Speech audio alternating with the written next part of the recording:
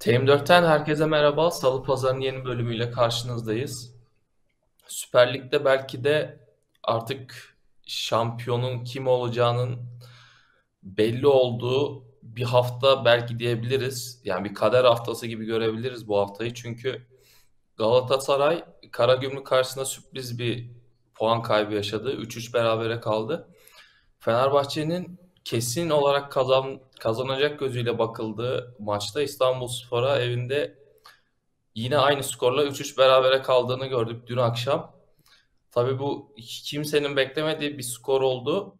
Ee, hatta Fatih Tekke de beklemiyordu çok büyük ihtimalle. Çünkü o bu maçta yani bu maça 0 puan yazdığını aslında açıklamıştı geçen hafta. Ee, isterseniz o maçta başlayalım. Kaan sen maçtaydın. Ee, hem dramı yaşadın. Bu sene çok dram yaşadım o saatte. Hem maçı nasıl buldun oyun olarak hem de stat'taki atmosfer de çok gergin gibiydi. Onu da nasıl değerlendirirsin? Kaan'ın hayatı Zeki Demirkubuz, Nuri Bilge Ceylan filmleri gibi oldu.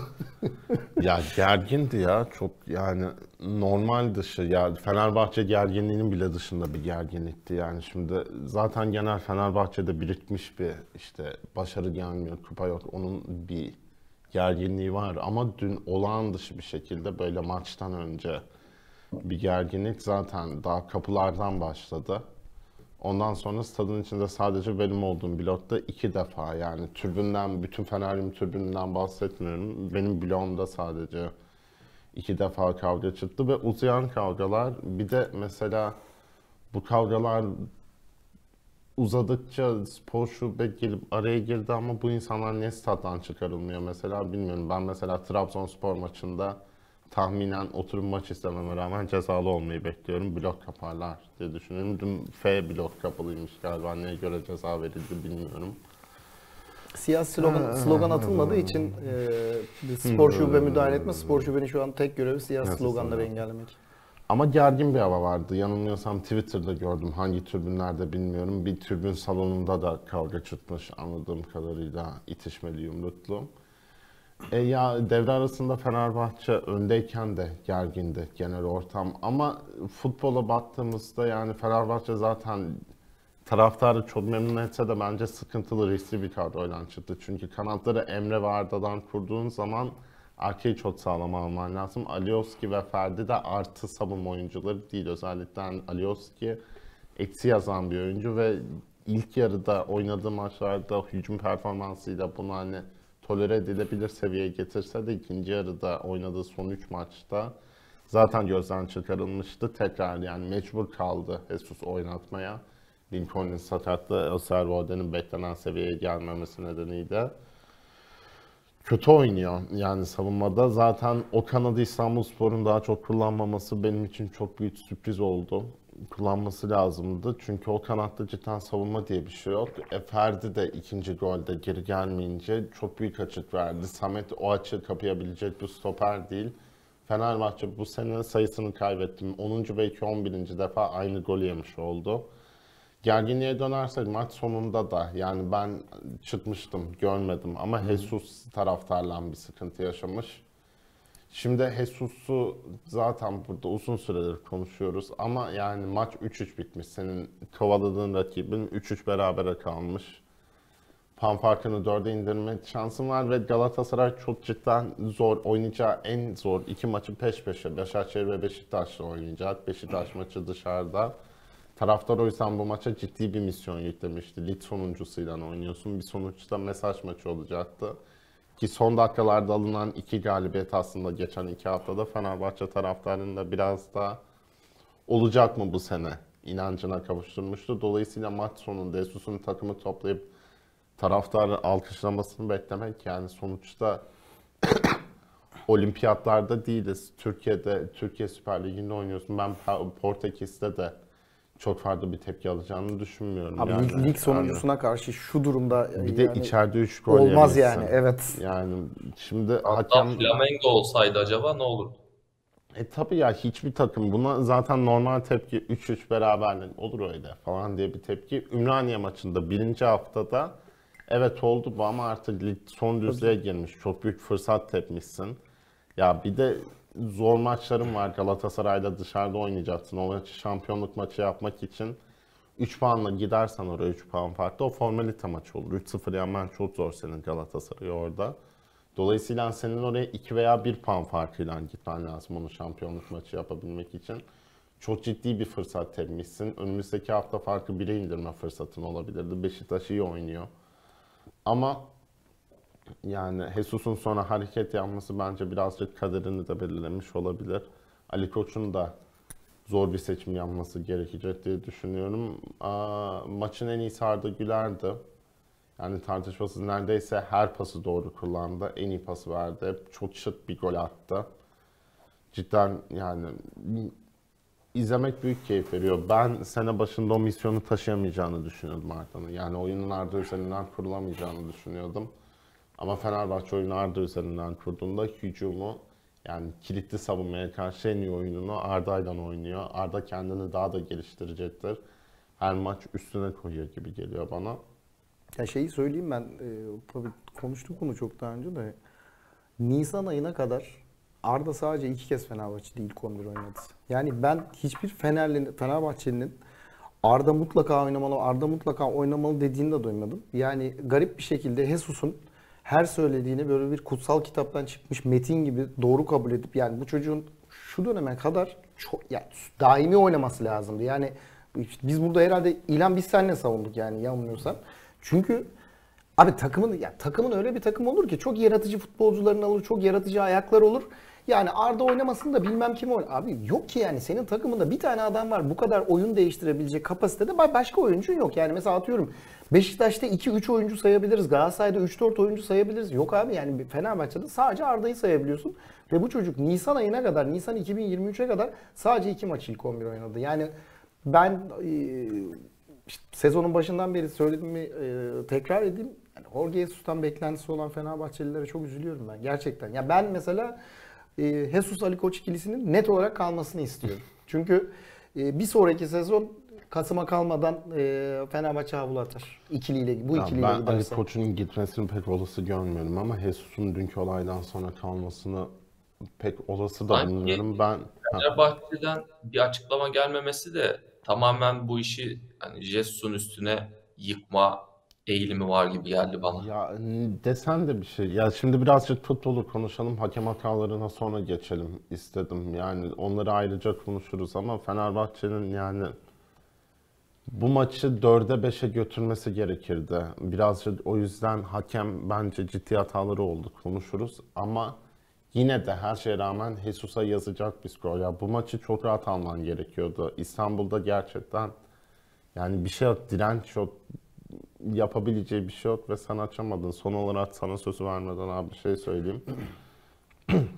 Fenerbahçe'nin eksikleri geniş kadro olmasına rağmen Fenerbahçe'yi çok ciddi zorluyor. Buna haftalardır bir çözüm üretemiyor. Yani çok uzun süredir Lincoln'un bir alternatifini bulamadı. Fenerbahçe Lincoln bu sene bence gizli kahramanlarındaydı. İyi bir savunmacı olmamasına rağmen çok çok yaratıcı bir oyun oynadı. Yanılmıyorsam sakatlanana kadar asist krallığında ikinci sıradaydı. Klasik birinci sahip Caner Erkin olduğu için. Ee, Onun dışında Batshuayi hücum futbolunu Fenerbahçe'nin çok geliştiriyordu. Pedro yavaştan form tutacak gibi duruyor inşallah 38. hafta falan. Ama ya Batshuayi Fenerbahçe'ye çok ciddi bir ikinci gol ayağı veriyordu ve Valencia'nın düştüğü haftalarda Batshuayi gol yükü çekebiliyordu yani yine Fenerbahçe'nin son yıllarda ikinci forvet olmasına rağmen son yıllarda almadığı bir verimi aldı forvetlerinden Batshuayi'den. Sakatlandı bir türlü geri dönemedi. Zaten Luan Perez anladığım kadarıyla teknik heyete katıldı artık yani o. Öldü. Aynen. Dün Kalbimiz bacağında değişiyor. kocaman bir şey vardı böyle mavi. Ne takmışlar anlamadım. Dışarıdan tendon eklenmiş gibi. Öyle yani nereden konuşsan tutuyordu. Salah'ın maça çıkmadan önce Southampton Van Dijk videoları izlemiş gibi çizgiden böyle top atıyor rakibe veriyor. Samet ne yapıyor bilmiyorum yani şeyde mesela Enzo Fenerbahçe böyle sürekli Rodallega vardı eskiden paso gol yerdi. Şimdi Enzo Eke'den paso gol yiyor. İşte ya bu Fenerbahçe'nin Anadolu takımlarının forvetlerini tutmak için hiçbir plan yapmayıp gol yeme sıkıntısı var. Hakeme şey menüde benim için Kadir Sağlam var ama önce sana vereyim. Ya şeyi e, şöyle ifade etmek lazım. Sen de mesela çok yoğun olarak ya ben bütün e, Fenerbahçe arkadaşlarla şeyi gördüm. Yani işin hücum yönüne baktığını gördüm. Benim için mesela ben ya Fenerbahçe'nin ciddi anlamda ne orta saha e, kurgusu ne savunma kurgusu. Oyuncuları bir kenara çıkartalım. Bence oyuncular da tabii çok yetenekli değiller ama ya kurgusal olarak da çok kötü. Yani e, İstanbulspor özellikle ikinci yarıda orta sahada acayip boşluklar buldu. Yani e, şimdi Emre Mor'dan e, bilmiyorum kariyeri boyunca ben pres yaptığını görmedim. E, Arda'nın oynadığı oyun itibariyle o işi yapacak evet, futbolcu değil. Orada bir tane adam kaldı ki oradaki bir tane adam e, yani kim olursa olsun 3 kişiyle 4 kişiyle yani çok maçta çok pozisyon var. Benim aklımda kalan Eze'nin e, 30 metreden şut çektiği bir pozisyon var. Orta sahayı bomboş geçiyor İstanbulspor. 3'e 1 ile geçiyorlar. Bir sürü adam e, Fenerbahçe futbolcu geride kalmış.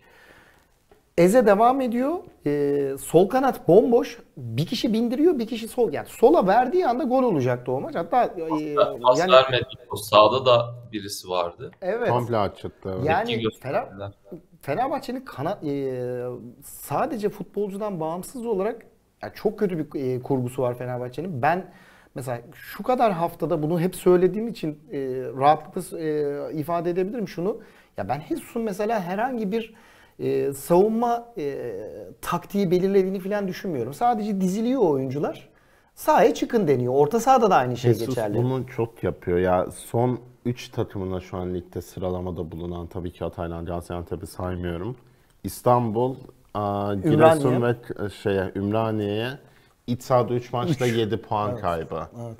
Yani bu çok çok çok ciddi bir sayıdan bahsediyoruz. Bu küçümsemek mi bilmiyorum ama Küçümsemek değil ama şu kesin e, rakibi asla analiz etmiyor. Evet, Tabii. Ya mesela bu kadroda İlhan sen ne dersin bilmiyorum ama bana ya kanatları Arda Emre oynatmak istiyorsan mesela presi oynayacaksan yine sanki kadro o zaman Crespo'yu istiyor Evet. atıyorum.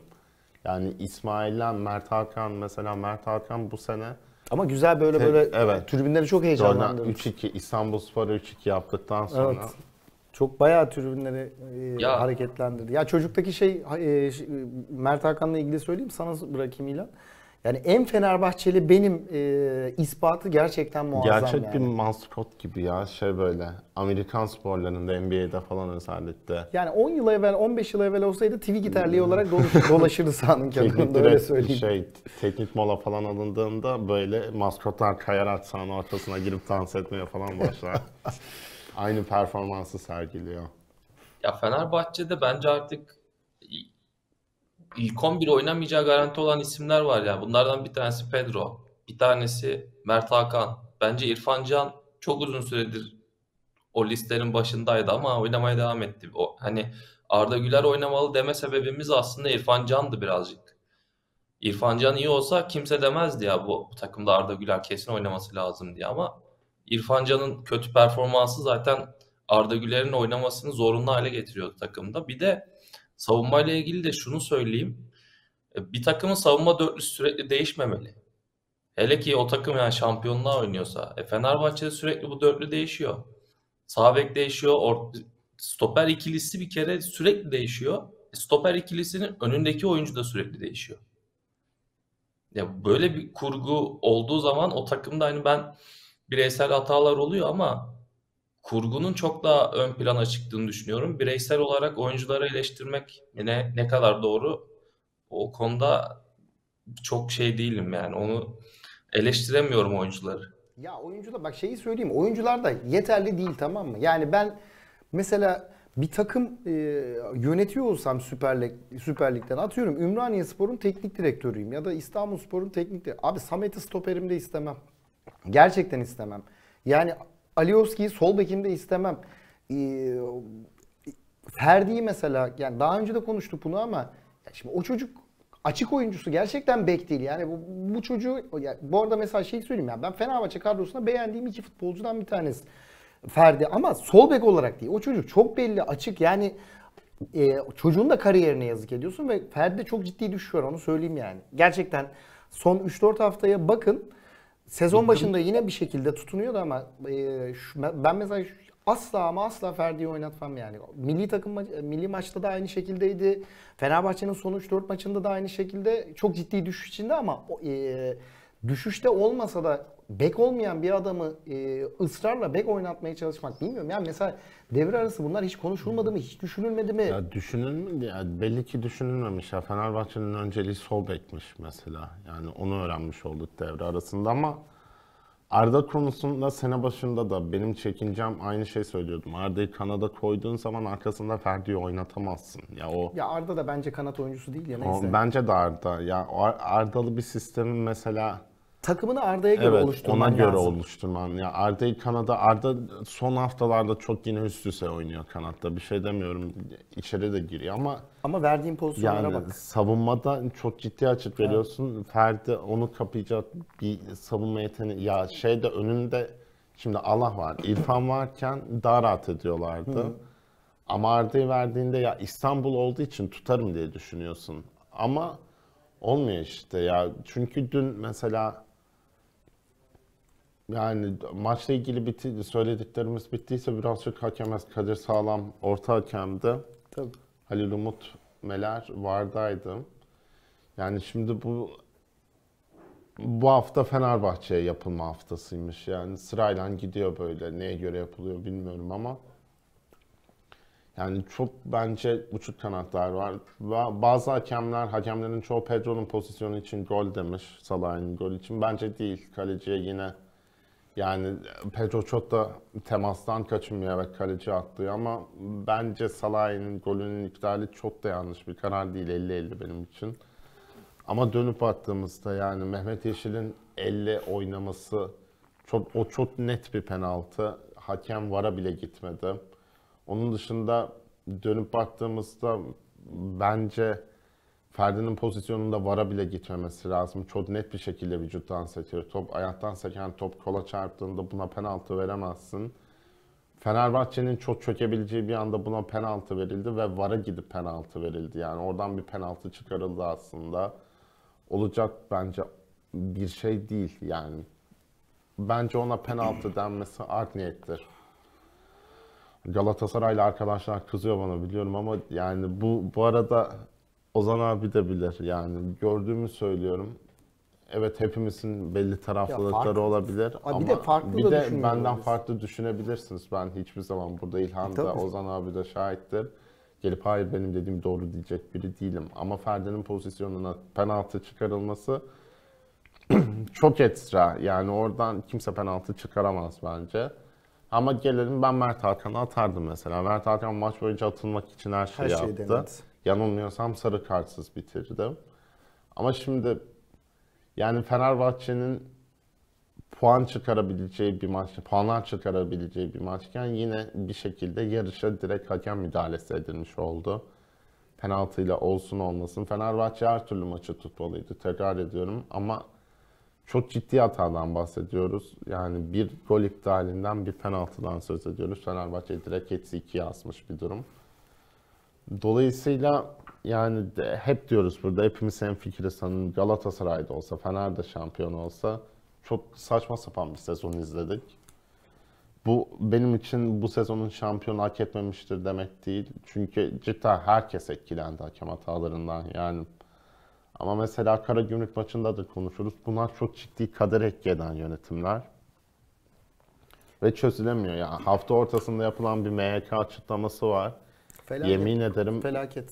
yani Her şey, şeyi nasıl daha karmaşık hale getiririzin e, çabası hiç- güdülmüş Hiçbir zaten. detay. Diyorsun ki yani biz bu hakemleri çekiyoruz. Neden? Ne yaptılar? Ne oldu? Bir kere ne o yapıldı? hakemleri açıklamıyorsan bütün hakemleri zan Evet. altında bırakıyorsun. Bu çok acayip yanlış bir Bir şey. de Tabii bu buna- mesela ligin en kritik maçında biz en iyi hakemi kim bu ligin? Herkes fikir. Kötü kararlar verse de Halil, Umut Umut Meler. Meler. Şimdi Kadir Sağlam diye bir adam orta hakem vara Halil Meler'i atmışsın. Yani ya yapay zekada bir sorun var ya da orta sen MK açıklamasında bana detay sunmak zorundasın yani. Tabii eğer ben mesela hakem olsam ya derim ki mesela ve bir hafta maç verilmese ben miyim diye düşünüyorum. Bak şeyi tabii. söyleyeyim. Ee, çok özür dilerim. Ee, Fenerbahçe maçındaki pozisyonlar e, dışında şunu söyleyeyim tamam mı? Bak Türkiye'de bir sistem sorunu var. Ee, Türkiye'nin her yerinde sistem sorunu var da. Şimdi bu Kadir Sağlam denen arkadaş Galatasaray'ı e, Başakşehir maçında kupadan eleten adamdır tamam mı? Başakşehir'in attığı gol çok net faul var. Ayak taban kalkıyor. Devam dedi. Galatasaray'ın penaltısını vermedi. Bütün Türkiye bunu yuttu tamam mı? Ben birinci haftadan beri şunun derdindeyim. Hatta sadece birinci hafta değil de yani e, muhtemelen e, kafamın bastığı dönemden beri abicim bir hakem bir takımı neredeyse bütün kaderini etkileyecek e, derecede kötü maç yönetiyorsa abi bu adamı dinlendireceksin tamam mı? Bu şey de değil iki hafta üç hafta. Abi diyeceksin ki sen bir sene maç alamazsın diyeceksin. Dönüyor doluş, dönüyor dolaşıyor. Ne oluyor? O Kadir Sağlam Fenerbahçe maçına gidiyor. Sen mutsuzsun tamam mı? Fenerbahçeli taraftar diyor ki böyle maç yönetir mi? E abi ben de aynısını söyledim. Ben söylerken güzeldi abi. Yani şey anlamında güzeldi diyorum. Ben söylerken hiçbiriniz duymadınız abi. Senin e, kişisel olarak senden bahsetmiyorum. Aa Galatasaray eğlendi filan. E şimdi sen söylerken de ben duymuyorum tamam mı? Öyle oluyor. Fenerbahçe kulübünün, Beşiktaş kulübünün ya da Galatasaray kulübünün kendi maçları olmasa bile bir maç katlediliyorsa birlikte ses çıkartması lazım. Sen eğer birlikte ses çıkartmazsan çünkü abi ben şundan eminim tamam mı? Bu herifler e, elbette beyinlerini bilmiyoruz etmiyoruz ama bu herifler kafada kurguluyorlar bunu tamam mı? Bir ona yaptım bir ona yaptım. Böyle oluyor. Çünkü maç içinde kararları da öyle oluyor. Şimdi bir şeyi e, mesela atıyorum orada bir kırmızı kart pozisyonu es geçiyor tamam mı? Ondan sonra o kadar saçma sapan bir sarı kart gösteriyor ki başka bir adama ya da aynı adama. Abi diyorsun ki çok belli yani. Abi bunu kurmuş. Abi Kadir şimdi o maçtan sonra bu herifin maç almaması lazım. Abi bu herife maç veriyorsun tamam mı? E doğal abi şimdi buna utanmadan bir daha maç verecekler. Yani muhtemelen bu sene bir daha vermezler. Son olur. Hoş Fenerbahçe de sesini çıkartmadı. Ee, benim bildiğim Fenerbahçe admini böyle tweet akşam aa, çıldıra tweet çıldıra. atılmadığına göre Ali Koç bir saat konuşacaktır. Ya o İlan'ın dediği gibi o Jesus'a dediler. Sen sorumlusun dediler. O yüzden yapılmadı. Bir de o kadar sık yapınca abi değerini kaybediyor. Yani e, şey bu hakemlerden önce e, federasyondan, sonra Merkez Hakem Kurulu'ndan ve bu hakemlerin pek çoğundan Türkiye'nin kurtulması lazım. Bak çünkü bunu biz seneye de yaşayacağız. Tamam? Sen yine biz konuşuyor olursak, programı yapsak da yapmasak da biz seninle konuştuğumuzda şey diyeceğiz tamam mı birbirimize? Ulan bu Kadir Sağlam yine bu maçın içine etti diyeceğiz. O yüzden çok doğru bir şey yapmıştı daha önce MHK ama geri döndüler filan. O e, tekrar o hakemlere aynı hakemlere maç verdiler. Türkiye'de doğru düzgün bir şekilde bir hakem sisteminin getirilmesi lazım. Merkez Hakem Kurulu'nun işte şu artık beni en kimseyi rahatsız etmiyor galiba. Beni en rahatsız eden şey babası her hakem olanın kendisinin de mesela biz 20 yıl sonra yaşlanacağız. 50'li 60'lı 70'li yaşlara geleceğiz. İşte minik melerin e, hakemliğini konuşacağız. Ya bunun babası da böyle. Ya kesin böyle olacak yani. Eğer kız çocuğu olmayıp erkek çocuğu olursa net abi hakem. Abi herkesin hepsinin babaları hakem, hepsinin amcaları hakem. Çünkü Merkez Hakem Kurulu'nu sürekli istifa e, et, etsin dememe rağmen Lale Orta yönetmiyor abi. Başka adamlar var. Ya Ahmet Çakar, e, Ahmet Çakır'la Cüneyt Çakır yönetiyor. Ya bu- ha, bu kadın da e, yönetici olarak ortalarda dolaşıyor. Şimdi şeyi söyleyeyim. E, şu hakem muhabbetine tamam mı? İşte biz bu bu işi sürekli konuşuyoruz. Yani bunu çok önce söyleyecektim. Pozisyonlardan bağımsız olarak söylüyorum. Hiçbir pozisyona girmeyeceğim o yüzden. E, söylemeyeceğim. Şimdi abi, Deniz Çoban trio diye program yapıyorlar tamam mı? Öbürü işte Bülent Yıldırım. Abi şimdi bunlar bir pozisyonun hepsine evet hayır bilmem ne. Bazen işte o evet diyor o hayır diyor. Abi ben bak ben benim kendi gözüm var tamam? Ben futbol izliyorum. Benim e, şey Deniz Çoban'ın e, benden daha iyi düşündüğünü düşünmüyorum. Çünkü Deniz Çoban da öğretmen. Tamam? Bülent Yıldırım ekonomici. Ha, ben de gazeteciyim tamam mı? Yani ben de onun kadar. Bu arada Deniz Çoban'dan falan da yaşım büyüktür yani. Ondan daha fazla maç izledim. Sadece hakem lanet dahil hakemlik yapmış. Ya bundan 30 sene evvel ben de girseydim abi hakemlik sınavına e, hakemlik yapardım. Yani ben hiçbir hakem hocasının filan ne dediğini hiç gerçekten umursamıyorum. Abi ben pozisyona bakıyorum. Mesela şey, Ferdi pozisyonu için söyleyeyim. Bence net penaltı. Çünkü bir el o kadar açık olamaz. Ee, yani elini bu kadar açamazsın. Arkan dönük de- değil. Şimdi orada şey dönüyorsun tamam mı? Şey diyorsun mesela. Yani bu arada penaltı değil diyene de herhangi bir lafım yok ama bence penaltı değil. Ben hakem olsam vermezdim yani. Çünkü abi o zaman şey yapalım abi yani bütün futbolcular arkasını dönsün ellerini açsın top geçirmesin. Elini o kadar açmayacaksın. Yani pozisyon itibarıyla açmayacaksın. Ama Abi. bu doğru ya da ilan son cümleyi söyleyeceğim.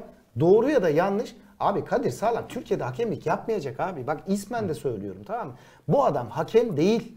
Bu adam Fenerbahçe maçı da yönetmemeli, Galatasaray maçı da yönetmemeli, Giresun maçı da yönetmemeli. Çünkü kötü bir hakem. Kötü hakem olduğunu şuradan anlıyoruz. Abi gördüğün bir şeyi, alenen gördüğün bir şeye 20 dakika değerlendirme yapamazsın tamam mı? Abi görmüyorsun, sırtın dönüktür. Eyvallah anlarım orada e, senin işte oyun takibin zayıftı falan. Eyvallah ama abicim kusura bakma da görüyorsun ve vermiyorsan Gözünün sorun önünde var oluyor abi. ve vermedin. Sonuçta sen kararını burada yani gariplikten çünkü Halil Umut daha iyi hakemim diye çağırıyor, VAR'a çağırıyor. Normalde çağıramayacağı pozisyonda. Onu derbi için dinlendiriyorlar. Evet, Hepimiz yani biliyoruz evet, değil mi? Yani ama kuralı biliyoruz. VAR'a çağıramaz o pozisyonda. Çağırıyor. E, o zaman ya zaten bunu hep söylüyoruz. VAR Türkiye'de bir silah. Yani Yüzde yüz öyle. Yani. İlhan buyur. Pardon uzattım. Şey ya Ferdi'nin pozisyonu için ben tekrar tekrar izledim. Şöyle de bir şey var. Kolu fazla açık evet ama top koluna çarpmasa Eze'nin ikinci bir hamleyle tamamlama ihtimali var. Bence çağırma sebebi birazcık o gibi geldi bana. Ee, şeyde Pedro'nun pozisyonu bence ha- hangi takım olsa ona faul çalınırdı. Ama ben de %50 %50 olduğunu düşünüyorum o pozisyonun. Yani faul değil diyene ben hani bir şey diyemem orada. Çünkü Pedro'nun şeyi yok. Çok art niyetli bir hamlesi yok orada. Diğer el pozisyonda bence VAR çağırabilirdi. Orada VAR, VAR atıyor. Hakemin görmemesine çağırıyorlar abi. hakemin görmemesine bir şey diyemem. Burada omuzlar falan kafalar Evet, görünmesi çok karışık. zor bir pozisyon ama yani o vardı herhalde tuvalet molasında devreye vardı. girmesi gerekirdi diye düşünüyorum. İşte abi bu hep söylüyoruz. Haftaya da mesela şimdi Fenerbahçe bu hafta ne kadar ses çıkardığına göre haftaya da Galatasaray için devreye girmeyecek. Ya bu İşte bu, bu, bu böyle olmaz ama yani bunu e, abicim e, yapacağın şey abi biz sürekli sivrisinek konuşuyoruz tamam mı? Abi Türkiye'de bataklığı kurutacaksın önce. Bataklığı Kurutman kurutmadan isim isim abi biz bin tane isim ya. söyle- Çünkü yok o abi, kimsenin yok? işine gelen bir şey. Ya istesen kurutursun ama ya sonuçta e, bu sene bu kadar konuşulmasının nedeni çünkü uzun süre sonra Galatasaray'la Fenerbahçe başa baş gidiyor. Ya geçen sene de konuştuk Kaan. Yani Ondan geçen sene, sene de konuştuk. ama geçen sene zaten geçen sene- Trabzon o kadar aleni itildi İşte ki yani. o- o- ama işte yani bunu yine konuştuk abi yani çünkü artık hakemler abi kader belirlemeye başladılar. Yani ve statta maçı izliyoruz tamam mı? Ya şimdi şeyi söyleyeceğim Galatasaray maçına geliriz de Galatasaray'ın ilk penaltısı Oliveira'nın e, şey e, şey, Er- Oliveira'nın attığı pozisyon. Abi aynı açıdan baktım tamam mı hakemle? Abi bak görmedi ki gördü. Çünkü aynı açıdan bakıyordum. Hatta şöyle bir şey oldu. Tribünde neredeyse yanımdakilerin kuzenimle birlikte gitmiştim. Hepsi şey dedi penaltı yok dedi. Dedim ki siyahi oyuncunun siyahi oyuncu eliyle vurdu dedim. Gördüm dedim. Herkes böyle ya filan yaptı. Tekrarına bir baktılar. Oha oymuş. Çünkü herkes beyaz oyuncuya baktı. Ee, ondan sonra isimleri şu anda aklıma gelmedi. Hakem gördü abi. Bak gördün. Daha trajik olanı abi var da 4 dakika ne izledin abi? Yani mesela ona penaltı değil diyen var mıdır abi? Ya bu o kadar net herif pat diye eliyle vuruyor. El uzanıyor topa artık. Şu oluyor abi tamam mı? Galatasaray olduğu için söylemiyorum. Abi soru işareti yaratıyorsun. Bu kadar net penaltı için bile 3 dakika izlemek, 4 dakika izlemek, varı beklemek. Abi hakemler şu anda kendilerini kurtarmak için topu vara attılar. Her şeyi vardan bekliyorlar. Görse de önemli değil abi. Var karar versin diyor. Ben Ya vermeyeyim bir de diyor. şey de samimi bulmuyorum yani işte TFF'nin binasındaydım bu hafta. Hakemler öyle mutsuz ki.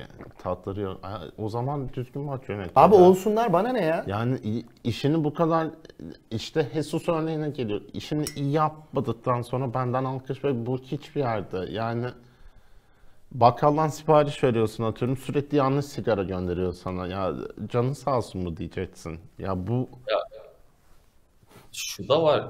Yani Türkiye'de yetenekli hakem yok gibi bir şey çok az yani ve Abi çünkü de bıraktırdın işte yani. Çünkü birilerinin tanıdığı akrabası bilmem nesi diye adam alıyorsun abicim tamam mı? Türkiye'de yetenekli hakem olup olma. Bak abicim o gün hatta maçta kuzenimle konuştum. Deniz Ateş Bitner çok iyi bir hakemdi. Ama herifi abi bir maçla bitirdiler tamam mı? Trabzonspor istiyor diye o maçtan sonra adamın kariyerinin içine ettiler. Hatta o kadar kötü ki yani bir yerde izlediğim için söyleyeceğim. Adamın karısını işten attırıyorlar. Bir devlet bankasında çalışıyor. Orada da mobbing uyguluyorlar falan. Gerçekten yetenek vadede ama bu adamın arkası yoktu, tanıdığı yoktu, abisi yoktu. Babası eski hakem değildi. Abi o yüzden eline verdiler sepeti yolladılar tamam mı? Yani yetenekli hakemler belki var ama e, yukarıya çıkana kadar eliyorlar abi. Gelenler onun bunun tanıdığı akrabası, Ya eşi, zaten dostu. olmama ihtimali yok mu? 80 milyonluk ülke 40 milyonu düzenli futbol izliyor desek ya herkes kurallara biraz vakıf olur yani. Abi 40 bin kişi hakem olmak yani? istiyor desen 40 milyon içinden tamam mı?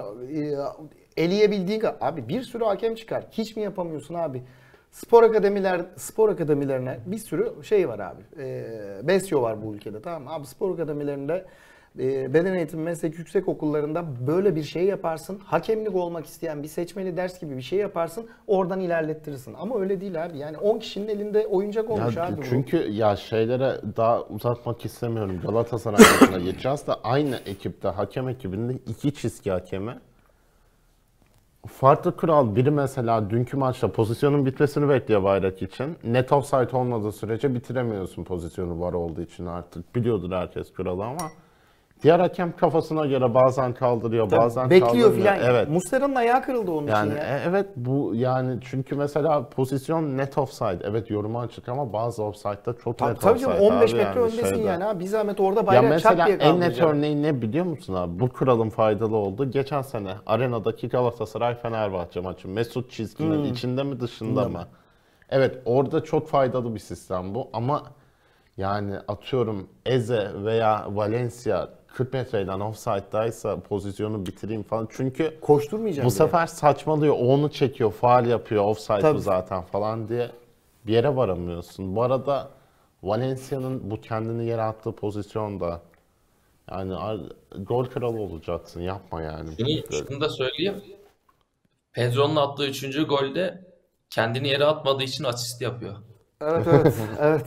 Yoksa kaleye gidecekti. Ya onu çok iyi yapan bir oyuncu. Çizgiye indiğinde çok asist yapabilen bir oyuncu. Nedense kolaya kaçıyor. Nedense değil çünkü yani golü kendisi atamayacağı zaman pek hoşuna gitmiyor. Çok asist yaptı bu sezon ama Ya bence Fenerbahçe'de oyuncular genel olarak hücum kurgusunda da sıkıntı olduğu için yaratıcılıkta ya da pozisyona girmede gol atamayacağına Ya inanıyor. bir şey değil mi? Kurgu da. Zeki oyuncu kendini fark ettiriyor abi. Ya iyi, iyi iyi- şimdi Valencia yetenekli bir futbolcu. Ayakları cidden çok yetenekli ama bence zeki bir oyuncu değil. Yani çünkü zeka mesela bu sezon çok iz Icardi'nin nerelerden top çıkardığını, asist yaptığını izledik. Yani birazcık bu şey mantığıdır. Yani bazı oyuncunun kafasının arkasında da göz vardır. Ya Valencia'da ya. Yani nasıl öğrendiğine bağlı işte futbolu altyapıyı nasıl aldığına bağlı olarak değişiyor ya. Valencia'da şey yani iki modu var.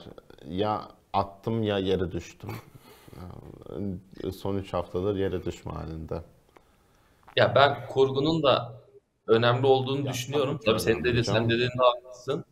Ee, kurgunun önemli olduğunu belki şimdi Galatasaray'a geçince biraz orada daha net tartışırız. Çünkü Galatasaray'ın oyununa baktığımızda ve bazı maçlarda performans düşüklüğü olsa da çoğu maçta benzer bir oyunu oynuyor. Sürekli beklerle çizgiye inmeye çalışıyor. İşte Oliveira'yla kanatlara ters toplar sürekli her maçta görüyoruz. Abdülkerim'in hücumda belli bir rolü var mesela. Hani zaten ilerideki oyuncuları saymıyorum.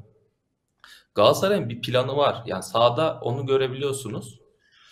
Ozan abi sen maç sen de maçtaydın bu Ya hafta. şeyi söyleyeyim, Nasıl, eee, nasıl değerlendirdin maçı? Sezon e, başından beri e, Boye dışında savunması en kötü Galatasaray'ı izledik. Zaten çok e, kısa ve seri sürede 3 gol yemesi onu gösteriyor. Ben ısrarla şeye takıldım. Yani e, maç 3. golü yiyene kadar Galatasaray Abdülkerim sol bekle sol açık yerine sol açık arasında bir yere konumlanmıştı. Muhtemelen bu bir taktikti. Ee, ama e, ki 1-0 öne geçmene rağmen şey e, Karagümrük orayı gerçekten e, o boşluğu çok iyi değerlendirdi. Öne attığı bütün toplarda ya bu arada şeyi söyleyeyim. E, işte Adekugbe çok kötüydü. Nelson çok kötüydü. E, şey çok kötüydü. E, Abdülkerim kötü. Hatta Abdülkerim çok kötü değildi ama kötüydü. Nelson daha kötüydü. Çünkü net gollerde. Mustera mesela ya, ya, e, şu pas yapan kaleci modu eğer aya, e, ayağın iyi değilse lütfen abi bitsin yani. Gerçekten bitsin. Yani rakip se- sana pres yapıyor. 3 kişi üzerine geliyor. Orada ayak içiyle Adekuk Bey'i bulmaya çalışıyorsun. İşte eline verdiler o pozisyonda. Ee, hoş o pozisyonda mesela Nelson uyudu. Borini'nin vurma, vurmasına fırsat ver. Çünkü Borini alenen arkasından çıkıyor. Cagney'in attığı golde de yani oraya gidene kadar e, bir müdahale yapabilirsin. Çok ağır kaldı Üç ki. golün ikisi Galatasaray'ın yediği zaten kişisel hata. Bence Ki Cagney de çok öyle süratli bir adam değil öyle e, ya hoş süratli de bu kadar süratli bir adam değil. E, Nelson çok ağır kaldı. E, ben Galatasaray savunmasını sezon başından beri ilk kez bu kadar e, kötü gördüm. 3-1'den sonra toparlandı ama biraz geç kaldı e, toparlama, toparlamakta. Çünkü aslında 1-0 iken oyunu çok rahat e, force edip e, farka gidebilirdin. Ee, ama şey yani sağ içinde dizilişe de baktığında ya çok net bir şekilde Pirlo Okan'dan daha üstün bir teknik direktörlük sergiledi. Ee, en azından ben dizilişte onu gördüm. Yani ya ben hep şey derim yani böyle dizilişe baktığın zaman iyi olan diziliş şeyden belli olur. Ya takıma bir bakarsın sanki rakip 12-13 kişiymiş gibi gözükür. Sen sanki eksikmişsin gibi gözükür. Önde çok iyi bastılar. Ee, yüksek topların e, Cagne tamamını yani ben bir pozisyon vardı benim hatırladığım. Nelson kafa vurabildi. Cagne tamamını indirdi. Ee, Galatasaray açısından ders de olabilecek bir maçtı. İşte o dersi ne kadar alıp almadıklarını Beşiktaş-Başakşehir maçlarında göreceğiz. Ee, ama şu açıdan söyleyeyim bence hayırlı bir beraberlik oldu. Ee, çünkü Galatasaray eksik şey açısından yani şu çok yanlış. Dün senle de konuşurken söyledim. Ya daimi olarak hücum edemezsin. Yani tamam mı? Yani sürekli saldırmak zorunda değilsin abi. Yani e, sen o farkı şey maçını hatırlayın. Başakşehir 7-0'lık Başakşehir maçını. Galatasaray çok akıllıca bir şekilde pas yaptı. Üzerine gelmesini bekledi ve e, çok rahat tek paslarla farka gitti. Şu maçta da bir benzerini sergileyebilirdin ama anlamadığım şekilde Galatasaray böyle bir aile boyu e, hücum etti. Oyunculara tek tek e, her ne kadar kısa yani içlerinden en çok Muslera'ya kızdım o pası yaptığı için. Çünkü senin zaten ayağın iyi değil abi. Sen ne gerek var? Oradan bir de oradan mesela kanada atsan ne olacak? Yani üçüncü golde de mesela Adekuk ve orta orta sahaya kadar geliyor. Karnıyla bir top karşılamaya çalışıyor falan dönüyor oradan gol oluyor.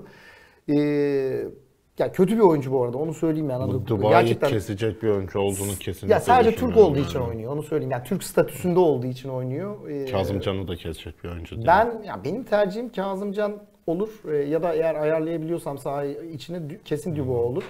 Çünkü savunma yapmayı bilmiyor adam. Yani o kadar uzaktan rakip karşılıyor ki ben o kadar uzaktan e, top karşılayan şeyi görmedim yani. E, savunma oyuncusu görmedim. Tek avantajı şu.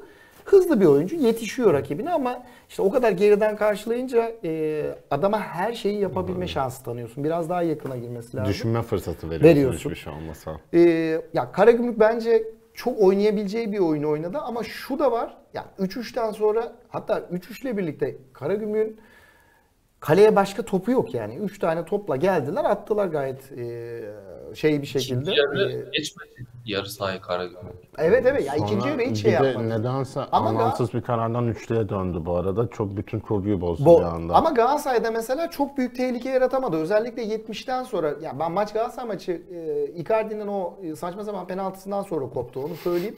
Ya orada Evet, penaltı çok bozdu Galatasaray. Abi bak kendisini bozdu ki e, zaten çok fazla antrenmanlı falan değil. Abi normal kaçırsa kimsenin söylemeyeceği. Ya ben çok kızdım bir kere onu söyleyeyim yani. E, Piloyu görünce dayanamadı. ya ben bak çok açık söylüyorum. Kuzenim burada olsa keşke söylese.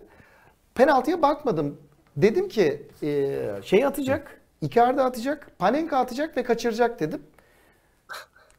Şöyle sesi duydum.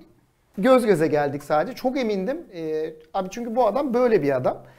E, bir tek şeyi söyleyeyim. Abi bir takımda e, bir adam ilk penaltıyı atmışsa o adam kim Evet. olursa olsun ikinci penaltıyı da o atar tamam mı? Yani ısrarla elinden top almak bilmem ne Galatasaray'ın ben e, muhtemelen 10 senedir falan bir penaltıcı sorunu var. Yani işte 2017-2018 sezonunda da Gomis Evet. böyleydi. Yani bütün topları almaya çalışıyordu. Çok kötü. Melo Ya, en net diyebiliriz belki. efendim?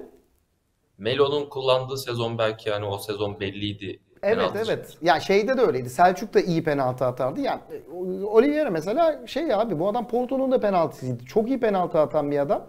Ama zaten ilk penaltıyı atmış bırak. şöyle söyleyeyim yani Icardi'nin penaltı abi Icardi zaten gol de atsa kötü penaltıcı. Gerçekten kötü penaltı atıyor. Icardi'nin attığı penaltılara gol olanlarına bakın. Kaleci tamam bütün hepsinde kaleciler köşeyi buldu. Ee, görüyor yani. O yüzden e, bir zahmet penaltı kullanmasın ama ben şundan eminim. Mesela bir puanla girildi e, Fenerbahçe maçına. Dakika 87'de maç 2-1 Fenerbahçe önde. Icardi penaltıyı alır ve atar abi. Yani yine o atar. Ondan eminim. Atar atamaz golü bilemem ama e, yüzde yüz e, Kullanır. bunu yapar. Çünkü böyle bir adam. Yani ben şey dedim maçtan çıktıktan sonra yani hem Icardi hem Muslera için en az iki maç kurtarmak zorundalar e, sezon sonuna kadar. Yoksa ben affetmem kişisel olarak ben ha, benim affedip affetmemem çok önemli değil. Ama abi yani Galatasaray forması altında bu şımarıklığı yapamazsın abi. Hele Ki öyle bir başına bela olabilirdi bu. maç. Evet. Yani hele böyle bir penaltıyı asla kullanamazsın. Vur, sert vur, kaçır hiçbir şey söylemezdi kimse. Zaten herkesin kız, e, sinirlendiği şey de o yani. Okan Savunan da şey da diyor. zaten- Ya Ümraniye maçında da böyle oldu. İşte böyle attı. Abi o da yanlıştı. Girmesine rağmen yanlıştı. Okan Buruk da zaten fantezi yapıyor diye sinirlenmiş. Ya bir de Çok vuruşu, haklı. vuruşu istediği gibi de yapamıyor bence. Kötü vuruyor ya. Panenka'yı da kötü vuruyor. Ya zaten Panenka'yı iyi vuran sadece düzenli olarak iyi vuran Pirlo vardı. O da iki defa Yok şey var ya, vurdu unuttum şimdi. Panenka var yani yok yok de. İngiltere'de bir herif vardı o çok iyi atıyor. Neyse aklıma gelmedi boş ver. Yani bu bir de ayağı iyi abanıp vurabileceği bir top. Ya abi bak, bak ben sana söyleyeyim ben ömür boyu e, gördüm dünyada benim gördüğüm en iyi penaltı kullanan adam Hami'ydi abi. Daha iyisini tanımam. Bir koyardı abi kaleciyle birlikte sokardı. Yani kaleci tutabilme ihtimali varsa bile abi penaltı öyle atılır ya. Ya çok teknik bir adam olacaksın, kaleciyi yatıracaksın. Beceremiyorsan da yani sevmediğim bir şey yani. Bir de abi çok net gol olabilecek bir pozisyonu içine ediyorsun. Çünkü orada 3 kişi olsaydı maçı kapatmıştı Galatasaray. her, her türlü duran topta Pirlo benim için büyük keyifti. En sevdiğim oyunculardan Yani ama, ama e, Galatasaray için şunu söyleyeyim. e, ben iyi olduğu kanaatindeyim. Şeye rağmen bu arada onu söyleyeyim. Yani Beşiktaş maçında yenilse de e, aynı fikirdeyim. Hiç e, şey değilim. E, aksini düşünmüyorum. Fenerbahçe maçı berabere kalmasaydı da aynı şeyi söylemiştim. E, çünkü yazdığım için e, söyleye rahatlıkla söylüyorum. Bazen istemez abi top seni tamam mı? Öyle bir maçtı. Çünkü Galatasaray'ın yediği o gol boya kafasına uzatıyor. Direkten dönüyor herifin önüne düşüyor. Maçın ilk 35 e, 37. dakikaya kadar falan ya bütün seken toplar Karagümrüklü futbolcularda kaldı. Yani sekiyor top herifin önüne düşüyor. Bazen olmadı mı olmaz. E, o günlerden biriydi. Yani e, yine daha var e, göreceğiz. Avantaj halen Galatasaray'da. Yani dün mesela Fenerbahçe kazansaydı da avantaj halen Galatasaray'da olacaktı. Çünkü Fenerbahçe Galatasaray'ın e, evine gelecek ve Fenerbahçe eğer kazanmak zorundaysa işte 4 tane falan atması lazım. Becerebilirse zaten şampiyon olsun yani. önümüzdeki iki hafta yani Galatasaray en az 4 puandan çıkarsa oradan bence Fenerbahçe için artık hikaye kapanır gibi ama 3 puandan çıksa yine çok zor sonraki haftalarda bekleyecektim. Burada yani Fenerbahçe için en umut verici senaryo iki haftadan Galatasaray'ın bir puan çıkarması olur ama o da bu sene 3 hafta üst üste puan kaybı yapmadı yanılmıyorsam Galatasaray. 2 hafta üst üste var mı ondan bile 2 çok hafta emin e, değilim. olması hafta da yok. lazım. Var yanılmıyorsam. 2 hafta var, 2 hafta var. Araya girip şöyle bir şey söyleyeyim. İki şehrin iki yakasının hikayesi diyelim. Fenerbahçe zora düştüğünde taraftar içeride çok zorlarken Fenerbahçe oyuncusunu Galatasaray'ın taraftarı Galatasaray'ı bu sene çok iyi itiyor. Bu maçta da bir yani, puanı taşımayı taraftar başarıyor. aldı. Desek, Belki yani bu maçta bir puan taraftar aldı desek belki yanlış Evet. olmaz. Yok yok taraf ben benim mesela bu sene gördüğüm maç önüyle falan en iyi taraftarlar e, ya en iyi taraftar gruplarından biriydi ama e, ya şeyi de söyleyeyim e, şu taraftarların evet sen de bir abondene oluyorsun filan izlerken bir anda 2-1 olunca yani bu şu mesela ölüm sessizliğine girmesi falan. Abi senin işin tamam mı orada desteklemek destekleyeceksin yani 2-1 değilse çünkü Galatasaray gerçekten çok aptallaştı o e, i- ikinci de değil de Sersemledi. Birinci de yok aptallaştı abi. Sen kibar söyledin. Bir bir olduğu an e, sahada e, izleyin mesela maçın o bölümünü. Pas yapamadılar. Ne yapacaklarını bilemediler. Hiç yani sanki şampiyonluk maçı e, atıyorum iki farklı üç farklı kazanmak yok abi yani çok sakinleş sakin oyna e, yapamadılar beceremediler bence e, taktiksel olarak da zayıftı e, Galatasaray Karagümrük'e göre üçlüye dönmeden önce Ee, oyuncu bazında da yani mesela Eri- şeyin forveti çok daha iyi oynadı. Karagümrük forveti çok daha iyi oynadı. Ee, Karagümrük kalecisi e, Muslera'dan daha iyi oynadı. Hı? Borin de iyi. Yani e, Karagümrük bence gayet iyi, iyi futbol oynadı. Geçmiş olsun Galatasaray'a. Bu daha devam ediyor ligi. Bak bakacağız. Çok şey olur ya bu ligde ya. Bu kadar böyle kimsenin şey yapmaması lazım. Ne çok sevinmesi ne çok üzülmesi lazım. Hem Fenerbahçeli olsam çok üzüldüm. O ayrı mesele. Ya, üzülmek normal. Ya şimdi hakemler bu kadar kadere ifade... Çünkü diyorum ya haftaya Galatasaray olmayacağını. Ya Galatasaray'a gidip öyle bir kötü yönetim sergilenir ki mesela en beklemediğim maçtan puan kaybedebiliyorsun. Ya bence şimdi Volkan Bayar sana getireceğim konuyu. Aa, ne kadar çok konuşmadık kararları, ne kadar aynı fikirdeyiz bilmiyorum ama yani yine kader etki eden bir yönetimden söz etmek mümkün. Çünkü mesela bence Raşitsa'nın pozisyonu penaltı değildi kesinlikle. Zaten yani çok alay konusu da oldu ama verdiği penaltı bir anda Galatasaray'ı kötü de etkiledi mesela. Icardi kaçırdı, takımı bozdu. Birinci pozisyonda mesela golü, her golü var incelemek zorunda. Oliveira'nın çok ciddi bir faali var ilk golde bence. Ya kayarak duran stopere şöyle- müdahale edemezsin. Yani topa gitmeye çalışıyorsun evet ama Pedro pozisyonuyla çok benzer. Evet bilinçli yapmıyorsun ama pozisyonu bozuyorsun sonuçta. Özellikle duran stoperin müdahalesini engellediğinde bence yine bir vardan yani bir uyarı gelmesi gerekiyor. Penaltıyı Var çok konuştu bu arada. Golü incelediler bu arada. Onu Her golü inceliyorlar tabii ki ama Yok yok hakem mesela. konuştu durdurdu oyunu. Hatta ben dedim ki neye e, du- neyi inceliyorlar dedim. Ondan sonra pozisyonu gördüm.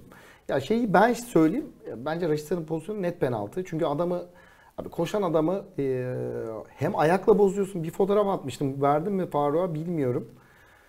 Şu pozisyon tamam mı? Bak bu pozisyon dizine vurduktan sonra abi bu, bu penaltı. Bak dizine vurmadan da arkadaki oyuncu çok net pozisyonu izlersen bu bir fotoğraf. Başka mesele adam koşarken dizi şöyle kırılıyor tamam mı abi? O kadar indiremezsin. Şurada da adam koşmaya devam ederken herifi şöyle engelleyemez. Bilmiyorum şöyle bir engelleme modeli var mı Bu ama futbolda düşüş bilmiyorum. anı artık kol için. Ama Ya bu- düşüş anı da şundan dolayı düşüyor. Adamın e, tam dizine bakarsan abi pozisyonu izlerseniz dizine çat diye koyuyor abi. Kendi diziyle gelip vuruyor. Bence bu şu mesela çok net penaltı benim için. Yani e, faal pozisyonu için, Oliveira'nın faal pozisyonu için aynı şeyi düşünüyorum. Faal ama şu pozisyon bence net penaltı yani. Bir de ya Valencia'nın yanı sıra Nelson da kendini çok atmaya Son başladı. 92 dakikadaki Evet, yani pozisyondan hiç, bahsediyorsun. hiç gerek yok. İkisi Serbest de takımının iyi oyuncuları. Hiç gerek yok ya. Orada serbest vuruşu Bence al. stoper, stoper böyle şeylere girmemeli. Evet, Şundan dolayı stoper. gerek var tamam mı? Bak şundan sen hiç gerek yok dedin. Şundan Hayır, dolayı evet, gerek var. gelince buraya abi nasıl olsa öğreniyorlar. veriyor abi tamam mı? Gelince Adam onu buraya- görüyor Çünkü yani. o yani mesela Danimarka'dan gelmiş. Danimarka İlk milli takımı maçlarını şunu yapabilir biliyoruz. mi acaba? Yani bunu yapsa hoca tahminen kulağını çeker. Zaten bak bunu yapan e, dün şeye de söyledim. Abi bak futbolcu e, yapar bu işlere girer tamam mı? Valencia'ya girer, Nelson girer.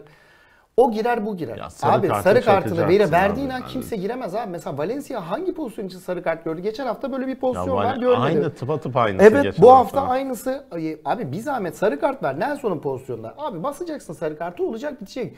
Bir daha vermez. Sen abicim tam tersi adamın attığı pozisyonu ödüllendirir gibi faal veriyorsun ya da penaltı veriyorsun.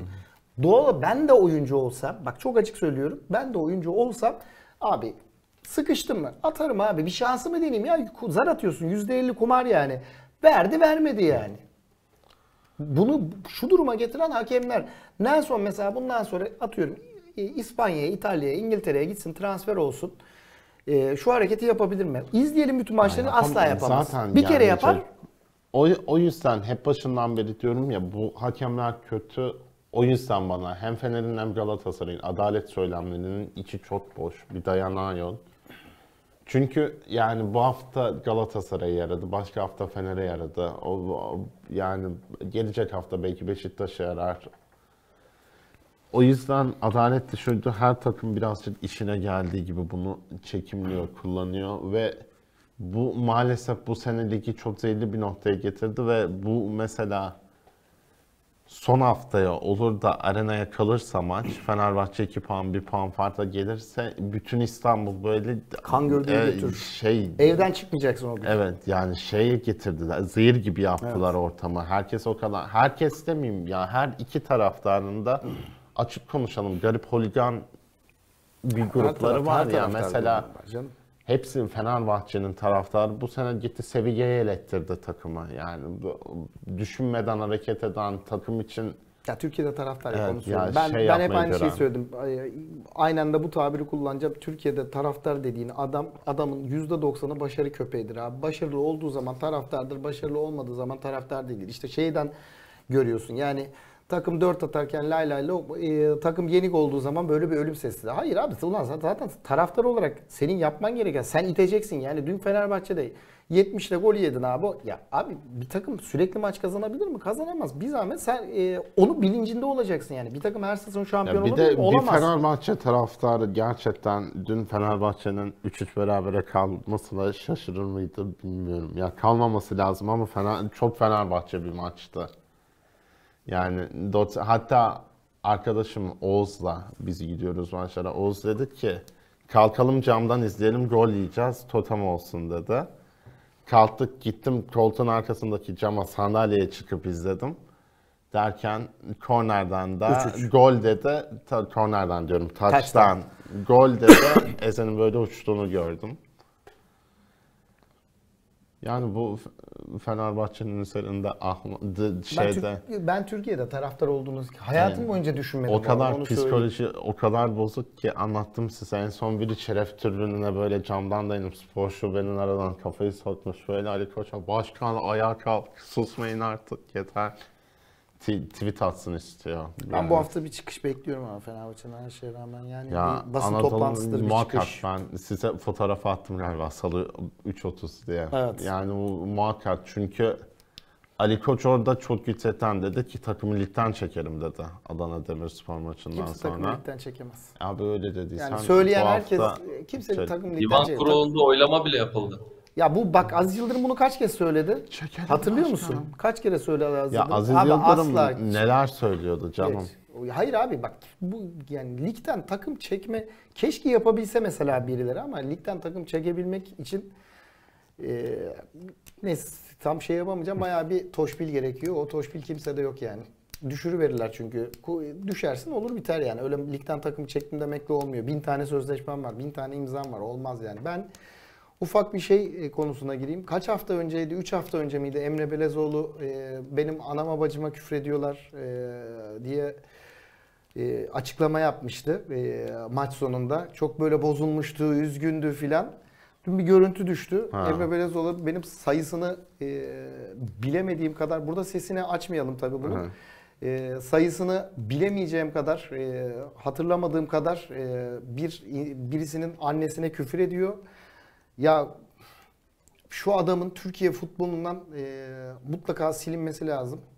Gerçekten bu kadar itici, bu kadar e, berbat bir karakter olamaz. Söyleyeceğim açık açık da söyleyeceğim yani.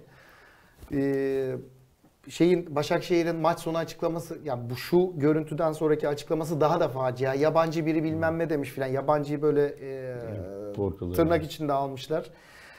E, şu arkadaş şundan sonra e, yani bir daha nasıl nasıl teknik direktörlük yapar diyeceğim ama Türkiye burası tabii herkes yapıyor. Sadece senin anan e, kıymetli ve şey değil abicim tamam mı? E, kutsal değil. Herkesin anası öyle. Eğer bu kadar rahatsız oluyorsan anana küfredilmesinden başkasının anasına da küfretmeyeceksin yani. Ayrıca çok sinirlenmiş olabilirsin ama sen bulunduğun konum nedeniyle onu yapamazsın. Sen Yani şey değilsin abi yani. kendine. Yani öyle sokaktaki sıradan adam değilsin abi. Tamam bak bir kere topluma karşı sorumluluğun var. Bir. Bunu kapalı kapılar ardında bir yerde yaparsın eder. Orada locadasın tamam mı? Yani Bir de rakip takım sana loça vermiş. evet iğrenç bir adam, iğrenç bir karakter. Geçmişi de böyleydi. Ee, Galatasaray'dayken böyleydi. Fenerbahçe'deyken de böyleydi. Avrupa'da da böyle oldu. Irkçı, e, bir takım cemaatlerle bağlantısı olan yani bugün içeride olan e, cemaat e, davasına FETÖ davasına içeri olan futbolcuların hepsinin söylediği gibi bu arkadaşın evinde yapılıyordu o toplantılar. Ama bu arkadaş işte bir şekilde yırttı. Bazıları özel oluyor çünkü tırnak içinde iktidara göre. Ama bu arkadaşın içeride olması lazımdı. Ee, içeride olması e, gerekirken dışarıda bir de milletin anasına bacısına böyle küfür ediyor.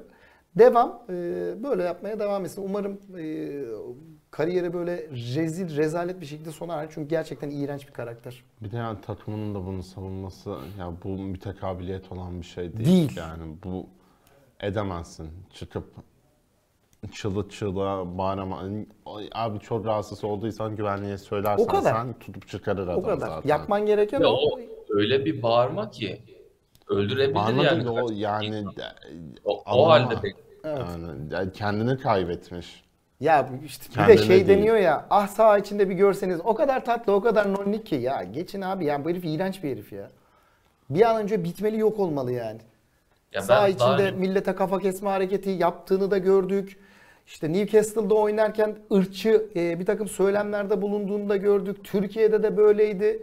Yani bence Emre'nin kariyerinde yaşanmış en güzel şey Fatih Terim'in tokatlamasıdır kendisi kendisini. E, umarım daha bol bol yaşar yani.